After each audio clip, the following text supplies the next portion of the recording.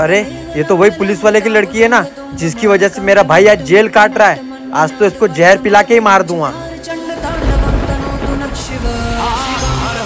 अरे बेटा आप इतना खेल रहे हो आपको प्यास नहीं लग रही क्या? हाँ मुझे प्यास तो लग रही है। ये लो पानी आप पानी पी लेना। अब ये लड़की पानी पिएगी और निपट जाएगी और मेरा काम हो जाएगा। आ मुझे चक्कर आ रहे हैं, मुझे पानी पिला दो। पानी पीना है, ये लो।